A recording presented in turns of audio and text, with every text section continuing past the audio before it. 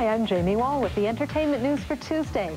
First of all, here's today's trivia question. What school was Paul Simon attending in 1964 when he dropped out to become a full-time musician? The third play in Alberta Theatre Project's Nova playRites 88 Festival is The Color of Coal. It tells the grim story of the Bellevue mining disaster in the Crowsnest Pass back in 1910. You're crazy, the both of you. Oh, listen, my English. If a fire comes, it will not be with little sniffings. There will be smoke enough for you and me and Keckle. And if a fire comes, then you will know exactly what to do. Aye, and what's that?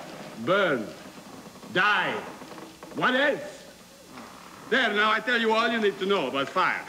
Thank you so much. You're welcome. Very funny, I'm sure. When playwright Clem Martini was writing the script, he realized that the mind had a personality of its own. So he decided to have actors wearing hoods represent a living, breathing mind. It was a killing force. Uh, When you realize that uh, almost all the mines down there at one time had major explosions, fires, uh, bumps, uh, mines collapsing, people were killed all the time.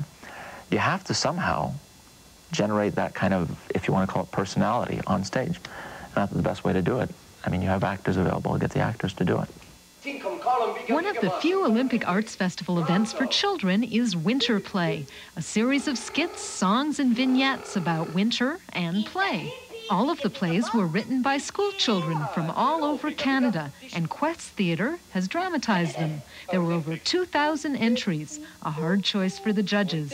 There's a remarkable, remarkable imagination out there with young people.